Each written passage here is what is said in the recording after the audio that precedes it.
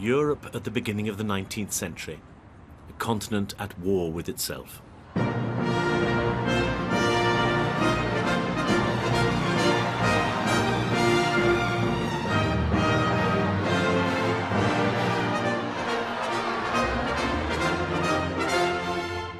The symphony is revolutionized, changed beyond all recognition in the space of just 30 years by two titanic men, one German and one French. The music and ideas of Beethoven and Berlioz were profoundly influenced by the French Revolution and its aftermath. And their symphonies would offer audiences a new understanding of the world in a time of great change and anxiety.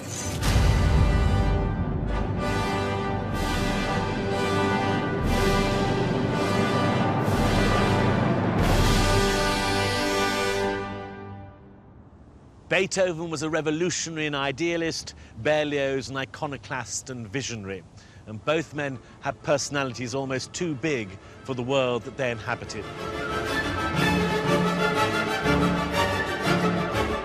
Ludwig van Beethoven, the German who struggled with his deafness, but whose nine symphonies are one of the great wonders of human achievement. Beethoven was after something epic. The idea that an orchestra could portray a journey from darkness into the blaze of what one might call victory. Now, this was completely original. Nobody had dared to do something as modern as this.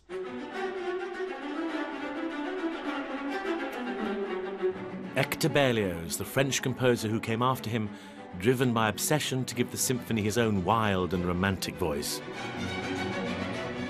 Berlioz was a bit of a maverick. It's quite extraordinary, the use of the orchestra. He seems to think of it as an instrument in itself, I think, as a virtuoso instrument.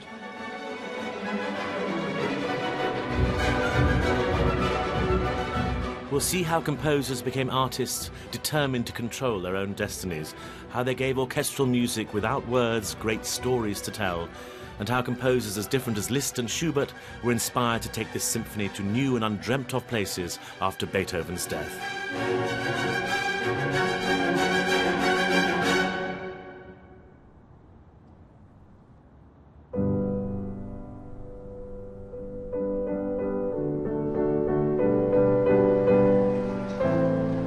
Our story starts in the imperial Austrian city of Vienna, where 200 years ago an extraordinary concert would change the course of music.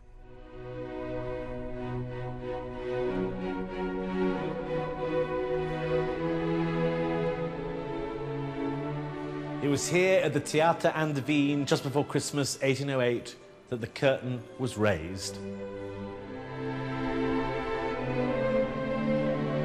This was the 38 year old Ludwig van Beethoven's declaration of his status as an independent artist in control of his own destiny. He was the composer, conductor, piano soloist, and the concert promoter, and this performance would last four hours.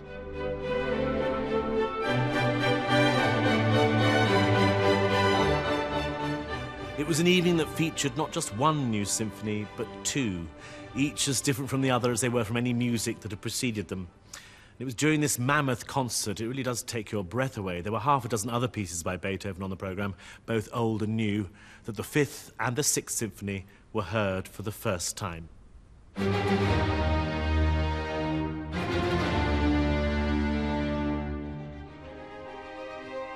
The most famous four note sequence in music, instantly recognizable to us today as Beethoven's Fifth, and full of associations. Fate knocking at the door, V for victory. But how must it have sounded to that original audience? Beethoven presented it as pure music. No clue to its significance or meaning. Well, Beethoven as a personality was so tricky and so uncouth in so many ways and had such a difficult, troubled childhood that the adult that gave us some of these pieces was a man so often at odds with the world around him. Born in poverty in the German town of Bonn, he was bullied as a child by his alcoholic father and in his 20s realized he was going deaf, surely the cruelest of tragedies for a musician. But Beethoven was a man with a will of iron, and in the fifth, he harnesses the power of the orchestra to an insistent, propulsive rhythm, forcing the symphony to articulate the profoundest personal drama. The story of a soul struggling against implacable fate and emerging incandescently victorious. One of the great contrasts available to a composer are the contrasts of darkness and lightness. And in his Fifth Symphony, built up from hesitant darkness into the radiant blaze of optimism, confidence, whatever. Now, he does this through the simplest of means. At the end of the third movement, which is the rather shadowy, dark scherzo, his plan is to burst us into the light without stopping. Now, he does this by making the orchestra play as quietly as it can, all the strings just plucking, very, very quietly.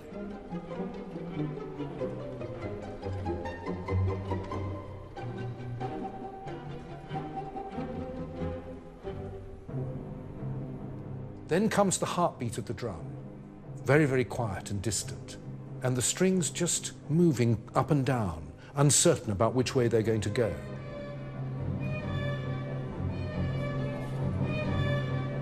And then suddenly, very quickly, the whole orchestra comes in, and without stopping, we burst into the final movement. This is in the major key. Lights full on after lights hardly on at all.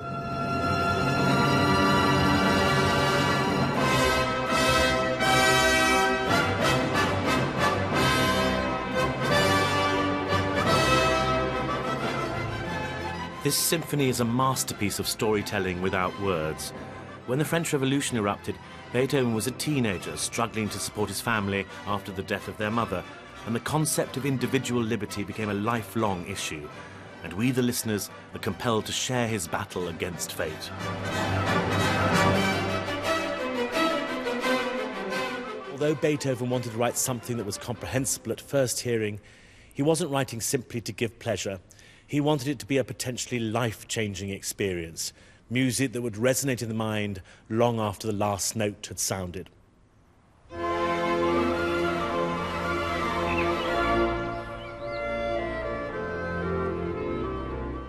The other symphony in that epic program couldn't have been more different from the dramatic fifth, demonstrating the breadth of Beethoven's extraordinary vision of what the symphony could be.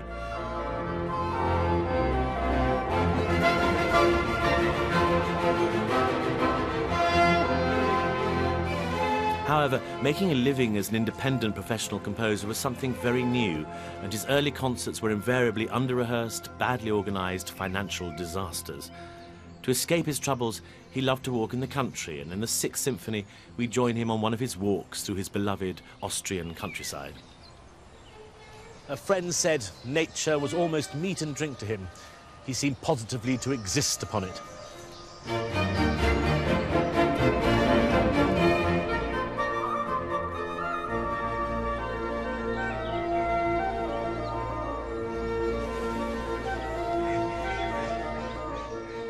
But this was more than recreation. To walk in the country was a kind of political act. Beethoven was a romantic in the strictest sense. As you walked away from urban society, you became a natural being, no longer measured in terms of wealth and social status, but able to find your place as part of the natural order of things.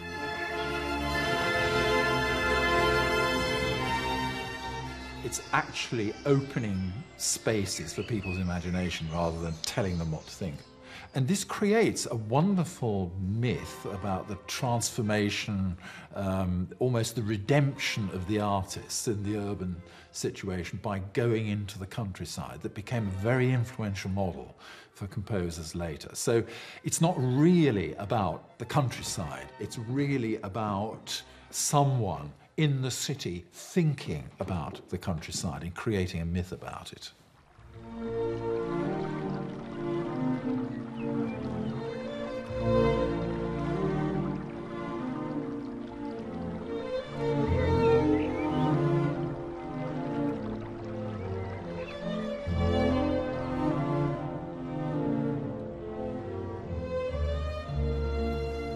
This symphony has five distinct movements rather than the standard four, and for the first and only time in a Beethoven symphony, each one had a title that was printed in the program. This is programmatic music. The first movement is the awakening of cheerful feelings upon arrival in the country, and he called the second Scene by a Brook.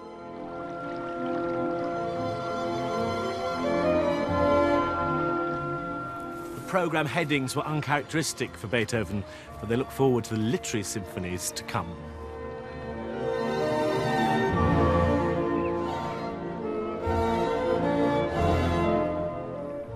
The French composer Hector Berlioz, who, as we shall see, later took up the idea of programmatic music with great élan, wrote of this second movement, Scene by a Brook.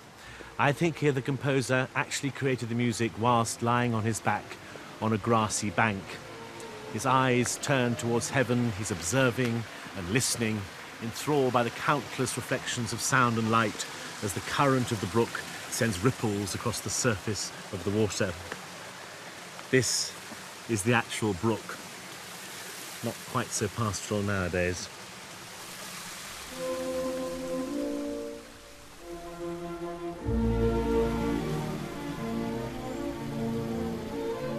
The symphony is a sequence of encounters with nature, scene painting which stimulates thoughts and feelings, and Beethoven rarely allowed himself to be so light and charming, or so literal. This movement ends with a faithful music reproduction of birdsong. And what's so funny about it is the birds that he chose. It says in the score here, the nightingale,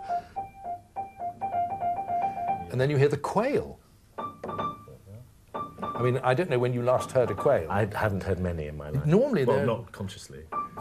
and then there's a cuckoo, isn't there? A famous cuckoo. Yeah. Do you want to play, if you play the... Should I do the, the, the nightingale? nightingale?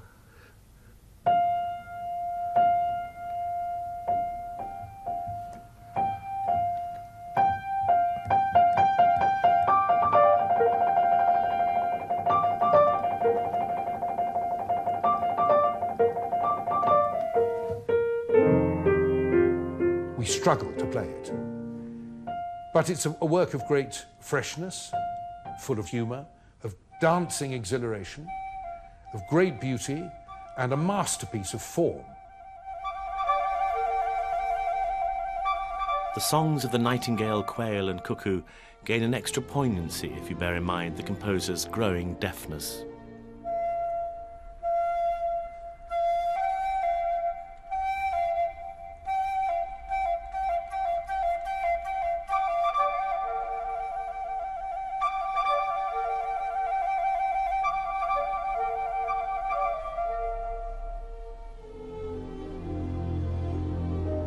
Its own way, the pastoral is a work just as visionary as the fifth, offering a utopian vision of peace, harmony, and fulfillment against the contemporary backdrop of war torn Europe.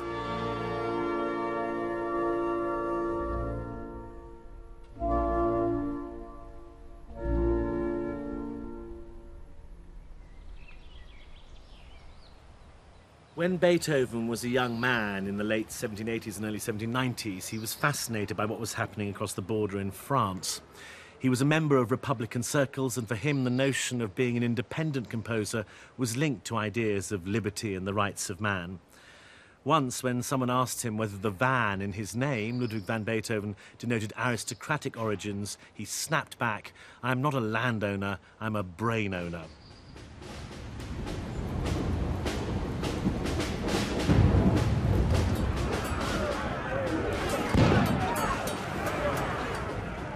After the premiere of the Fifth and Sixth Symphonies, Napoleon invades Austria and occupies Vienna. Beethoven hides in his brother's cellar, protecting his ears from the sound of French cannon by burying his head in pillows.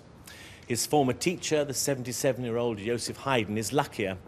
Such is Napoleon's respect for the father of the symphony that he orders guards to protect him.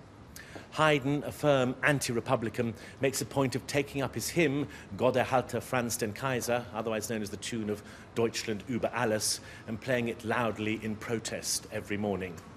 Sadly, within weeks of the French invasion, Haydn is gone, dying peacefully in his sleep.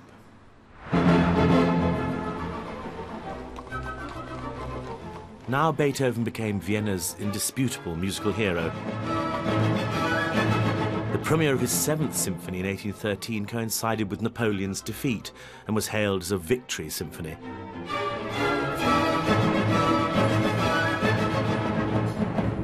The following year, his eighth won new admirers with its wit and humour. Now his concerts had become major musical events. the audiences of Vienna were the most musically sophisticated in Europe.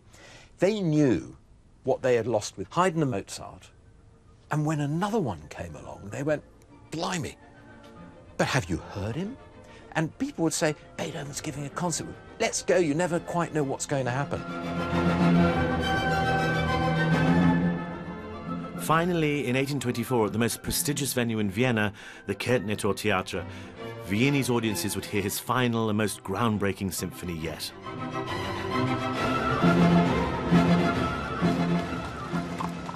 The Kärntner Theatre is long gone, but on its site stands one of Vienna's great and most glorious institutions, the Hotel Sacher, home to one of the world's most famous cakes, the Sacher Torte.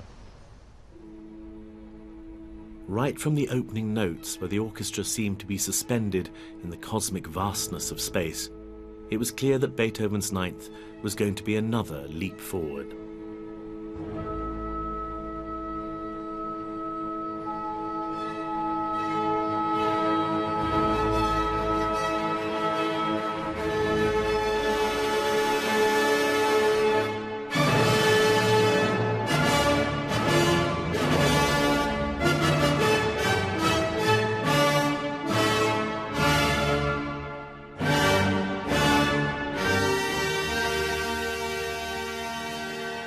Trying to think how to compare the Ninth Symphony with a chocolate cake, but beyond the fact that both are rich and satisfying, I can't do it. The fact of the matter is that the Ninth Symphony is not just any old piece of music, it's a colossal achievement, a comprehensive, if unpredictable, tour through the human condition. It would be better to compare it to the ceiling of the Sistine Chapel or the Great Wall of China. In fact, it's so big, it probably can be seen from space. And it has great tunes. This is Beethoven at his most iconoclastic.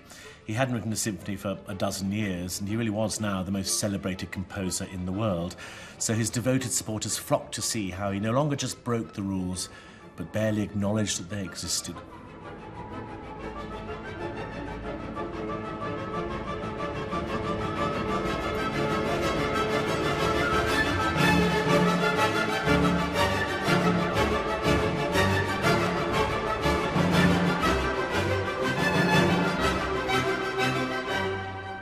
The inspiration behind the Ninth Symphony was Frederick Schiller's poem An die Freude, the Ode to Joy, a stirring celebration of human happiness and universal brotherhood.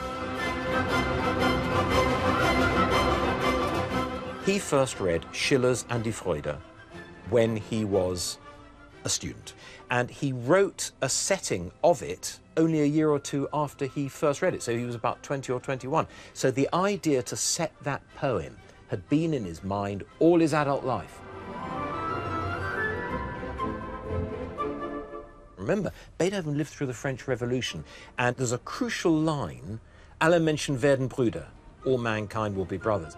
And that line appealed to him because Beethoven was, although he never spelled it out as such, the great democrat. I just get this feeling there must have been a moment when he thought, I can't go any further with just instruments. Well, he, he brought voices in for the first time in, in, in, a symphony. He struggled over that. He could not work out a way to bring them in. And the sudden idea of the solo bass singer singing, Oh, Freunde, which to us, again, is as natural as breathing, was about his fourth or fifth idea before he got what he wanted.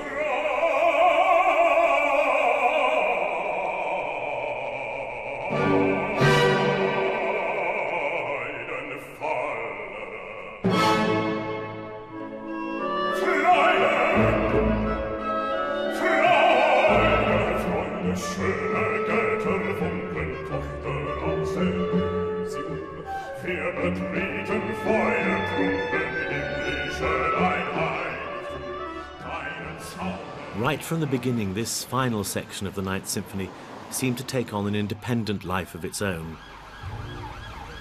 There's always been a particular resonance for German speakers, and in the 1930s and 40s it was used as a propaganda tool by the Nazi Party, performed to mark such events as Hitler's birthday.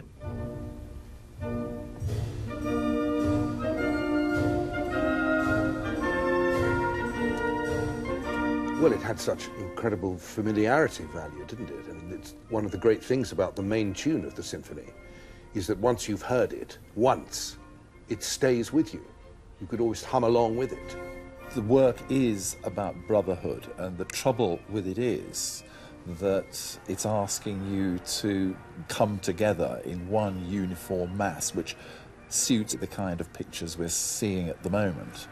You don't have to interpret it that way, however, because you can always say we need to come together because we're reacting against an authoritarian idea of normality. So the piece can be read two ways. But the music isn't ambiguous at all, is it? No, it's I mean, about, no, it's about joy. Yeah, and energy, and the realization that it's a statement of everybody reaching for something bigger, Sure. something better. On Christmas Day 1989, a global audience of 100 million watched Leonard Bernstein conduct the work in Berlin. A month after the wall that had divided the communist East from the West came down.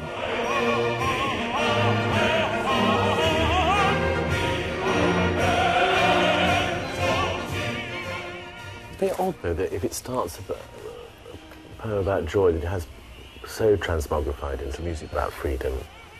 The musical quality is so inspired in its uh, accumulative power that it seems, and this to me is one of the reasons why it's such an important piece for, for very epic um, global occasions, that it seems that the music is so much bigger than anybody who's taking part in it.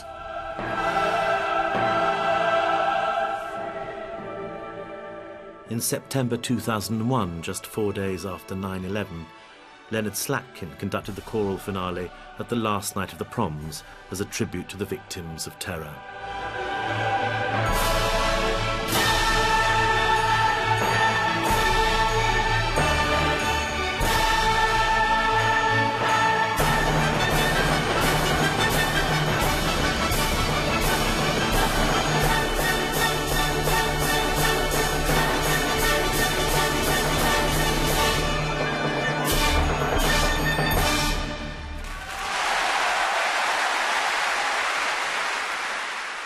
Many years later, Hector Berlioz would write that with the ninth, Beethoven had built himself a magnificent monument and imagined the composer saying to himself, Let death come now.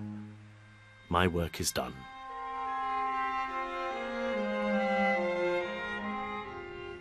Beethoven died on the 26th of March, 1827, three years after completing his Ninth Symphony.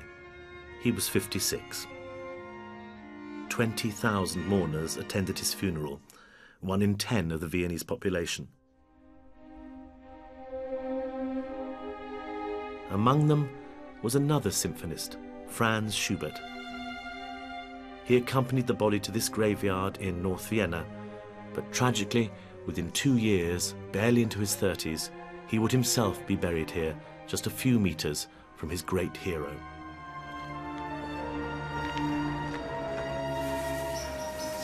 John. Yes, this is where Schubert was first put to rest in 1828. Uh, And, what, uh, what's, the, what's this part of the funeral? It says arrangement? music has laid to rest a rich treasure and still greater hopes for the future. But ironically, um, his two best symphonies were, of course, in the future. They weren't actually discovered until um, 1839, and the unfinished wasn't first performed until uh, the 1860s here in Vienna. So that's 30 years after his death. 30 years after.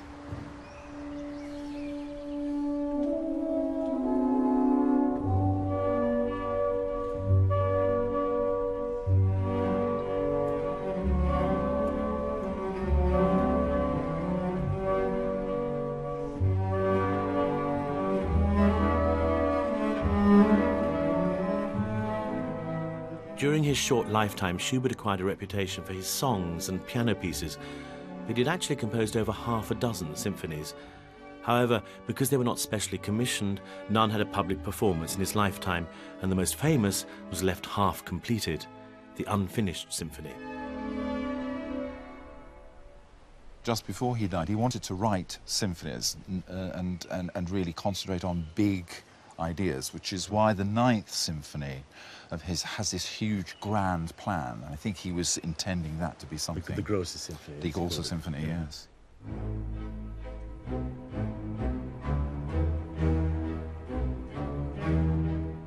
The Orchestra of the Age of Enlightenment are performing the Great C Major Symphony on authentic period instruments. But Schubert himself only ever heard an orchestra play this symphony in a rehearsal in 1828 for a concert that was never given. His music was invariably performed by and for his friends, often in the comfortable surroundings of this school where his father was the headmaster.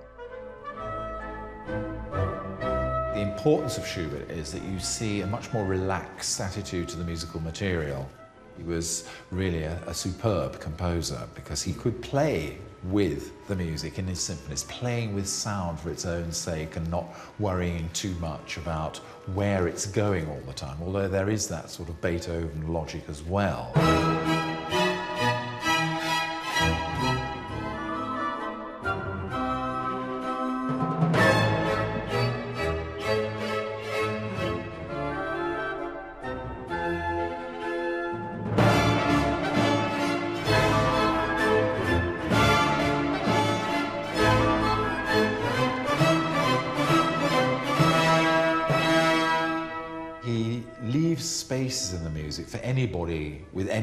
Whatever, to enter. That's part of the generosity. There's something very positive about the music, but also something very daring at the same time.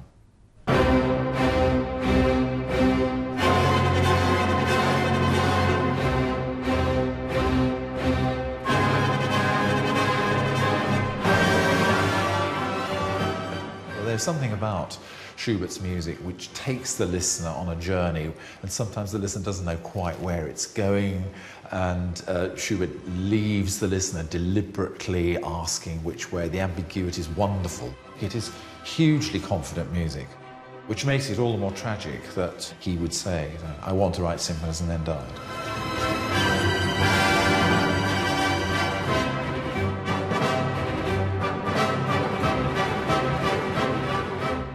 Later he was moved from here. He was exhumed in 1888. The cemetery was decommissioned and his body was moved to the central cemetery along with Beethoven, who is almost next to him here. Oh, bye-bye, Schubert. Bye-bye. And here's Beethoven. Here's Beethoven. This is uh, where he was originally put to rest.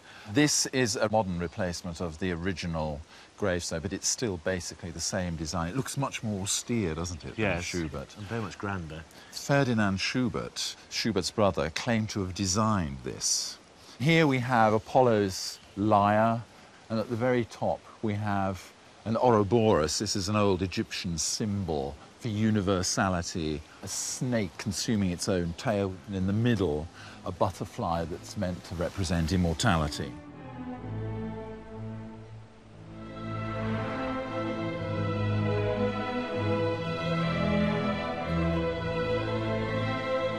All Beethoven's symphonies had already been published during his lifetime and began to receive public performances in major cities across Europe. Our story now takes us to Paris.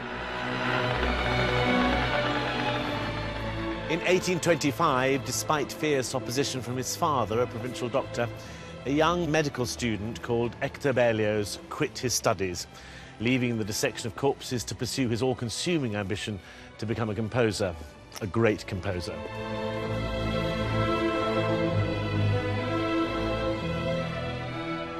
He enrolled here at the Conservatoire of Music and threw himself into his work. But not long into his studies, he had a life-changing experience, a revelation. Hector was rather prone to revelations. He heard the symphonies of Beethoven, and in particular, the first performances in France of Beethoven's Fifth.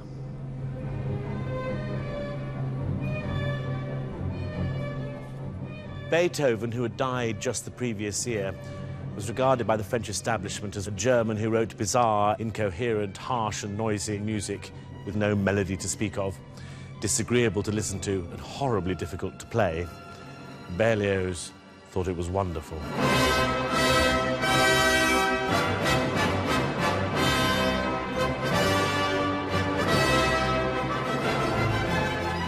Fifth, he said, gave wings to Beethoven's despair, but also to his nobility of soul. This style of writing is far above and beyond anything ever written in orchestral music until now. He himself, in his own words, would fire along another path.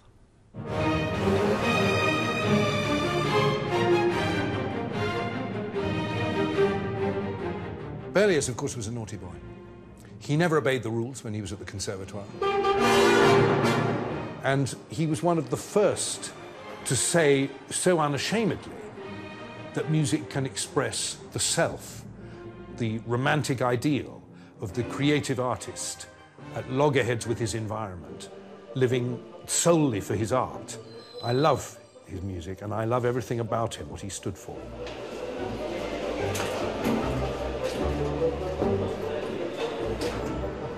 This is the Place de la Bastille, named after one of the key events of the French Revolution, the storming of the Bastille prison in 1789.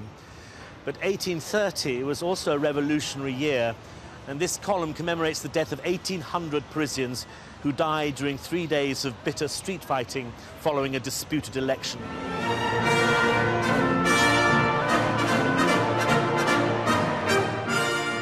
Berlioz was excited. It was as if he would finish his musical work for the day and then dash outside, pistol in hand, to join the riots and the street fighting. His symphony was to have a story, an episode in the life of an artist in five parts.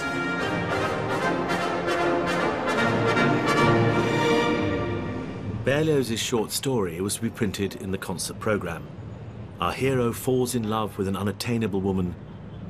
Pushed towards madness by unrequited passion, he attempts to kill himself with an overdose of opium, but the drug causes him to suffer a sequence of ever more grotesque hallucinations.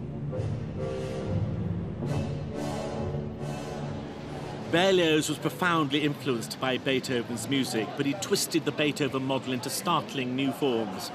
The journey from darkness into light that we see in Beethoven's Fifth Symphony into a drug induced descent into hell.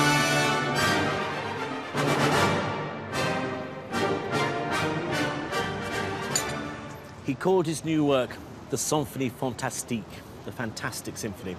Fantastic meaning uncanny or unreal, as in a dream, but also incroyable, unbelievable, terrifying, extraordinary. And it is an extraordinary musical achievement.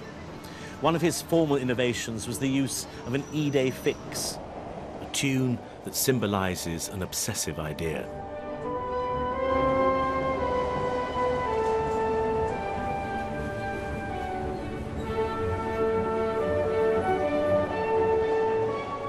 This strange, unearthly melody lasts nearly 40 seconds and keeps recurring throughout the symphony. To gain an insight into how this actually works, I visited the composer, Robert Saxton, at his home in South London.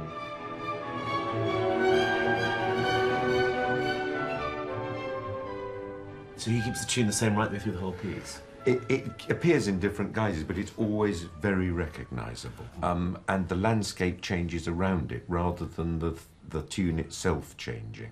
Um, shall I, is this one here? Shall I play it? Yes. Or at the beginning of it? Absolutely.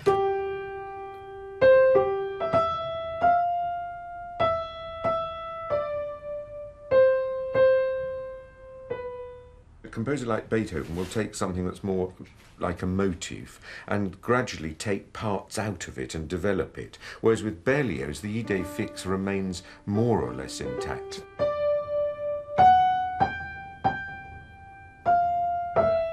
Opening is reverie and passions, and he, he's dreaming, uh, and the idée fixe is the beloved. That is her. Right. He then here introduces the tune totally unaccompanied, and when he does put the accompaniment in, where most composers would have had a running accompaniment, he's got this jerky boom, boom, boom.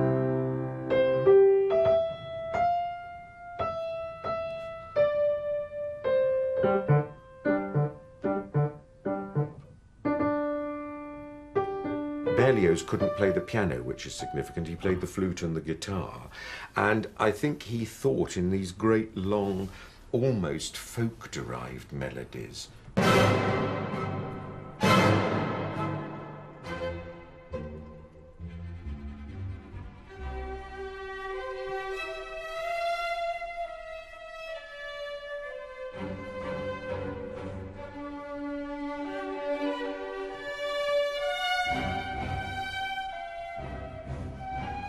For Berlioz, the conventional orchestra as it existed in the early 1830s was too polite and genteel sounding for his vision for the Symphonie Fantastique. For all his wild romantic imagination, he approached actually writing the score as if he was a scientist. How could he get exactly the sound that he wanted? You big baby, he wrote, addressing an imaginary orchestra, it's time you learn to speak properly, and I am the one to teach you he examined the potential of the instruments and fearlessly felt unconstrained by what had come before him.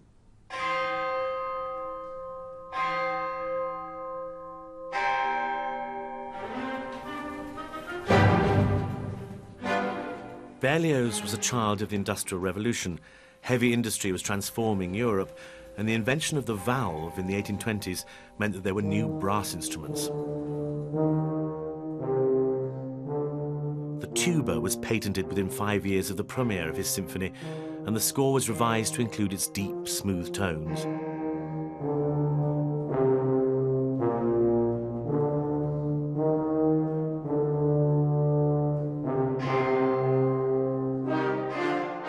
Obsessively interested in the design of instruments and the techniques used to play them, he began to create a new type of orchestra, one that could play the music he heard in his head.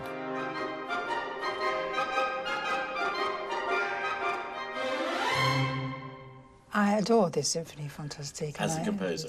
Yes, it's endless, endlessly fascinating.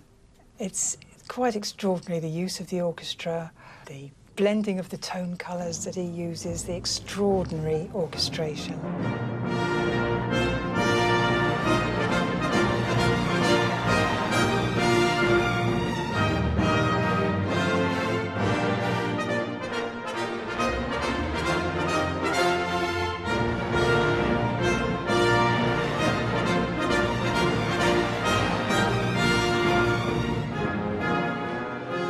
Seems to think of the orchestra as a virtuoso instrument in itself.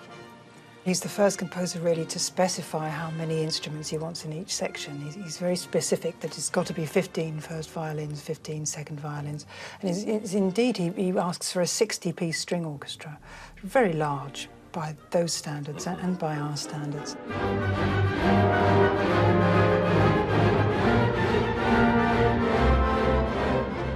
He extends the technique of them. He gives them tremolo to play, which is when they go like this on the string, which was quite unusual for those days.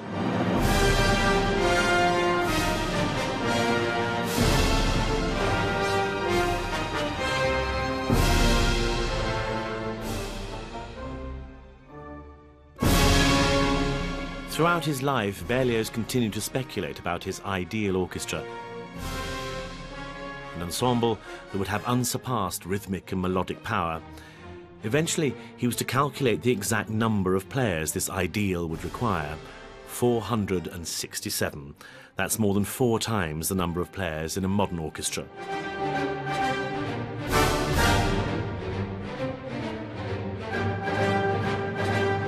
Even with a mere 80 or so players, the Symphonie Fantastique is an overwhelming experience and the detailed literary programme only adds to the intensity.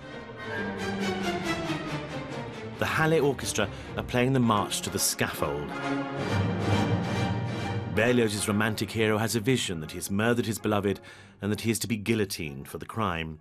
His head will be laid on the block, and we will hear the idée fixe run through his mind like a final thought of his beloved, only to be literally chopped off by the fall of the blade.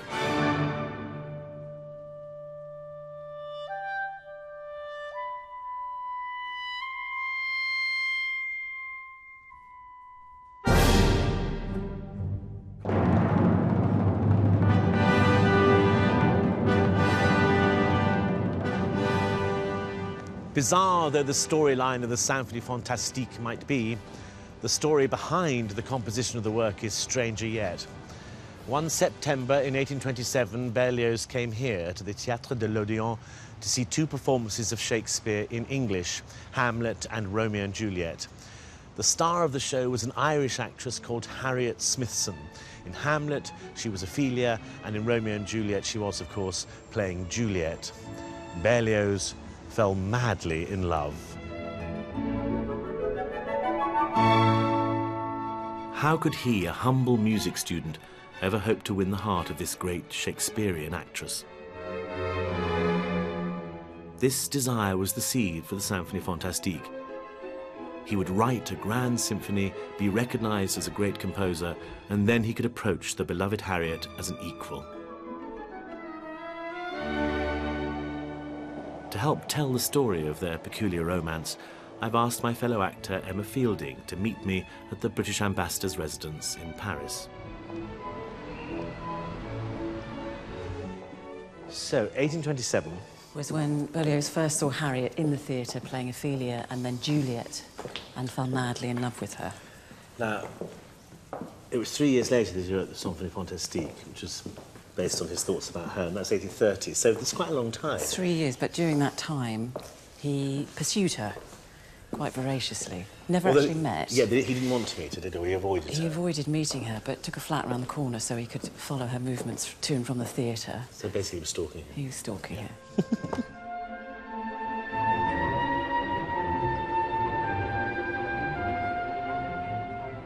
And at the end of 1832, she attends a concert, which she doesn't normally do. She's not a great classical music lover. And she reads the programme notes of the Symphony Fantastique and realises that it's all about her.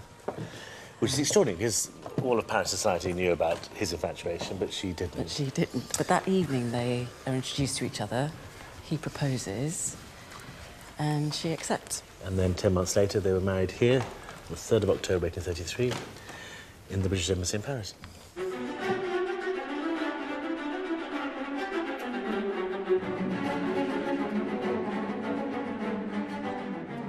My 30 year war against the mediocre, the academics, and the deaf.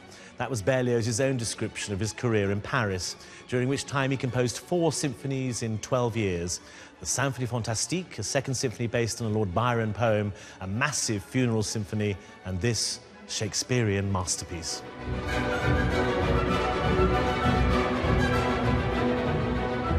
The Romeo and Juliet Symphony is the 36 year old Berlioz's musical expression of his love for both Harriet and for the works of the playwright who first brought them together. The symphony is his most sophisticated storytelling yet. The orchestra here doesn't simply evoke the story, he wants the instruments to become the actors in the play and actually deliver Shakespeare's lines. The flute and woodwinds are the voice of Juliet. Yeah, lovely. Then we hear the cellos representing Romeo's speech.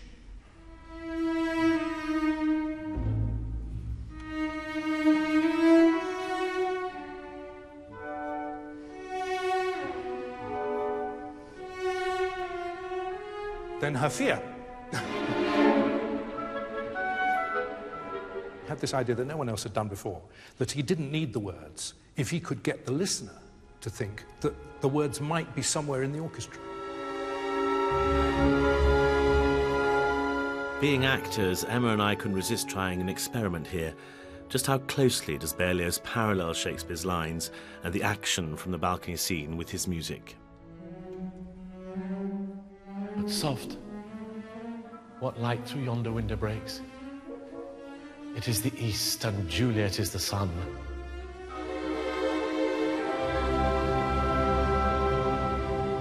You can clearly hear Romeo's climb to the balcony in the cello's ardent ascending phrase, and Romeo and Juliet's blossoming love in the radiant music that follows.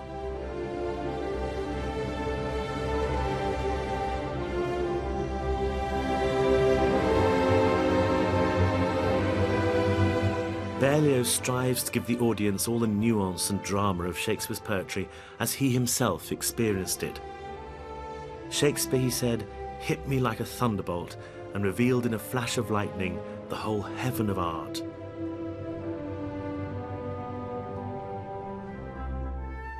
When he'd first seen Harriet portray Juliet on stage, he spoke no English. Now, ten years later, he had mastered the language and could translate it into music. What man art thou, that thus bescreened in night so stumblest on my counsel? I know not how to tell thee who I am. My name, dear saint, is hateful to myself because it is an enemy to thee.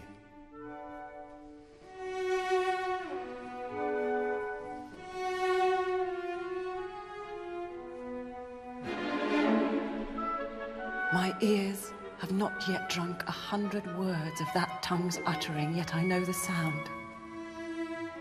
Art thou not Romeo?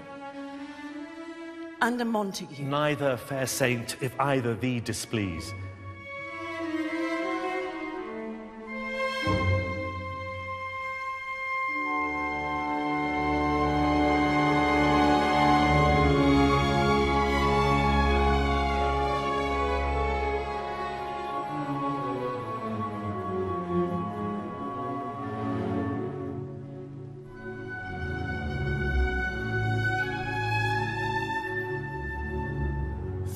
Years after the premiere of Romeo and Juliet, he and Harriet's marriage failed and they separated. She died a decade later.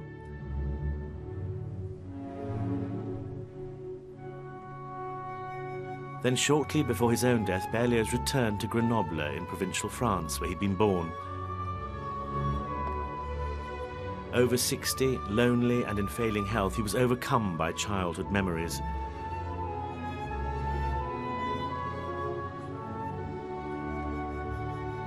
As a teenager, he'd been infatuated by a girl called Estelle. He now tracked her down, and though she was a widow of 70, in his imagination she seemed unchanged. Star who brightened the morning of my life, he declared to her, I should write you a symphony. Only with the orchestra can I express what I feel for you.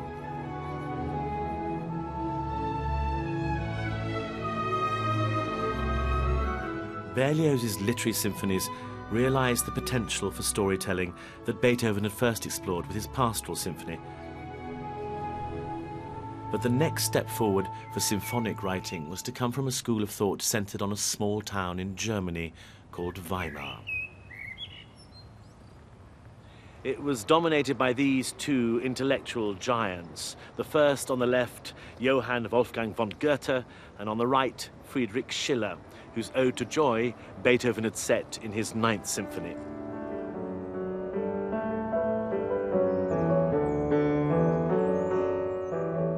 Weimar was a powerhouse of political and philosophical thought in the middle of the 19th century, but it was one charismatic individual who was to put it on the musical map. And this is his distinctive piano arrangement of Beethoven's Ninth. He was the great Franz Liszt. When Liszt was offered the post of artist in residence by the court here in Weimar, many people were surprised. He was the most famous piano virtuoso in Europe, a personality and a talent that had been adored and celebrated like a rock star for 20 years. But he had little experience of conducting, and most of his compositions were for the piano. Why on earth would this flamboyant man take on the unfamiliar responsibilities of executive manager and conductor that his role as Kapellmeister extraordinaire required? Well, perhaps this was part of the appeal.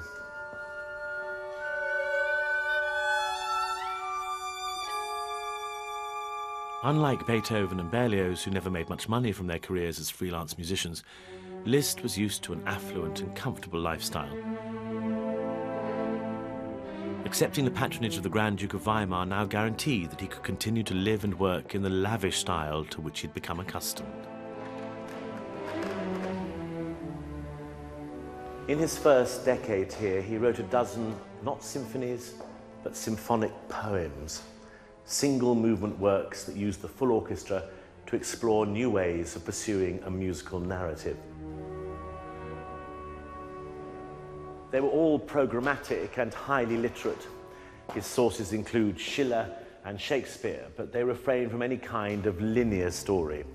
In their concentration on mood and character, they were more like illustrations than translations.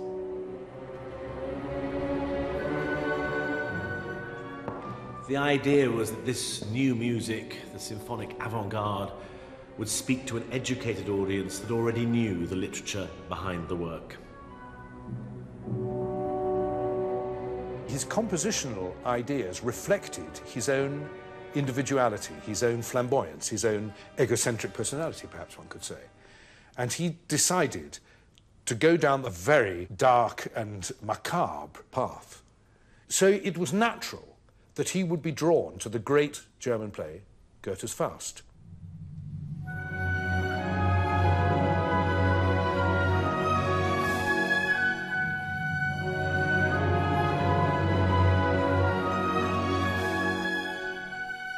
Liszt's first full-scale symphony is a powerful and disturbing orchestral companion piece to Goethe's poetic drama about a man who sells his soul to the devil written for the inauguration of the statue in Weimar Town Square in 1857. Liszt was genuinely thrilled by both the Faust story and by the radical ideas about art and beauty that Goethe had developed. Goethe believed that excellence and good taste could unite the polarities of classicism with its concern for balance and proportion and the wilder philosophy of Romanticism, which put the individual and his concerns at the center of the universe.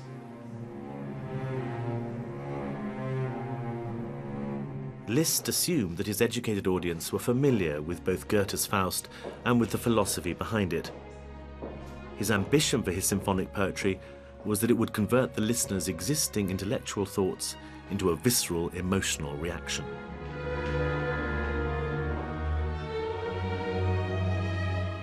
One of the best ways to uh, look at a, a Liszt symphonic poem is to compare it with that period, you know, the silent film era, where the pianists were dished out with certain quotations from various pieces of music that had moods and things. So you had, you know, crisis or melancholy, and you'd go like this.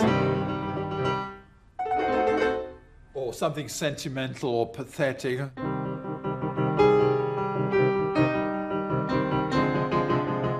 just making that up because Liszt is using all of these uh, types, putting them together as a series of pictures.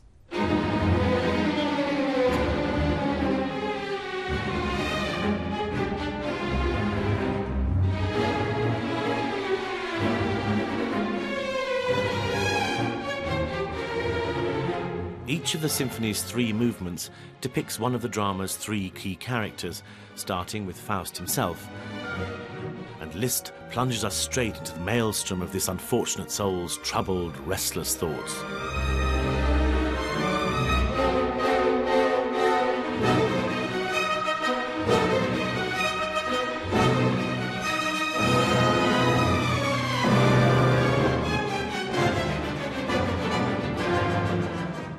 The long, slow second movement is a portrait of Gretchen, the heroine.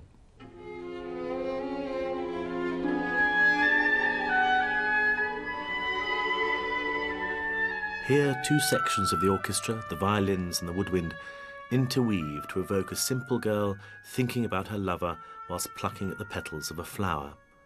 He loves me, he loves me not.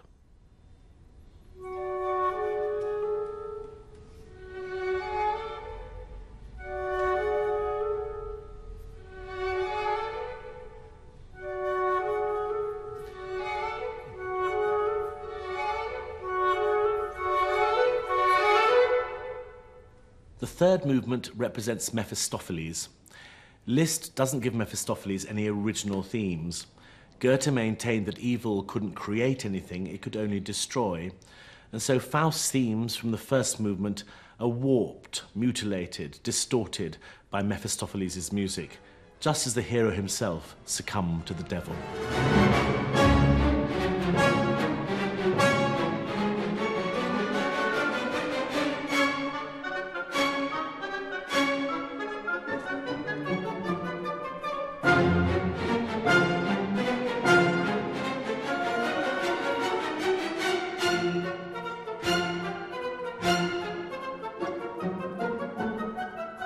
This was difficult music, sometimes violent and uncomfortable to listen to, and many would reject it as unmusical. Liszt, who had tasted success and adulation as a young piano superstar, now seemed happy to alienate casual listeners if necessary. But his ability to portray characters and their emotional lives through musical motives was to influence profoundly many of his contemporaries. Richard Wagner visited Liszt in Weimar. He called symphonic poetry the music of the future and freely admitted that he borrowed heavily from Liszt in his operas. Aside from his actual compositions, Liszt's other great contribution to the history of the symphony is his clever keyboard transcriptions of music by Beethoven and Berlioz. In an age before recording, these elegant versions of orchestral music that you could play at home on your own piano were essential in the disseminating and popularizing of the symphony.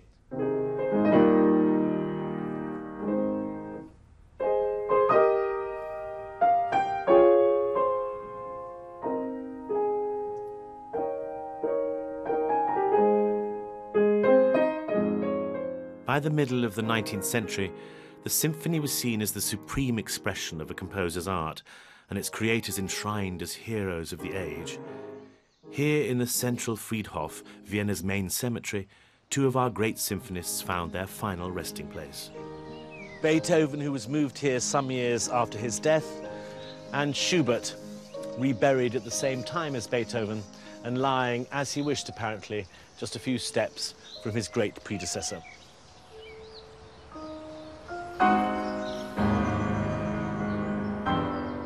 However, there was a serious problem. Now that Liszt and Berlioz had perfected the form's ability to tell stories, if supported by a literary text, had the abstract, pure music model, storytelling by instrumental sounds alone, died along with Beethoven and Schubert.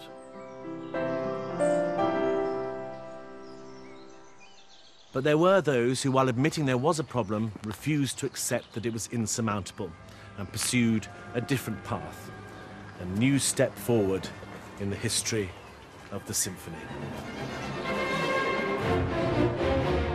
In the next episode, we trace Johannes Brahms' journey into the realm of pure music. To go deeper into the music and unravel the secrets of the symphony, follow the links to the Open University at bbc.co.uk forward slash symphony.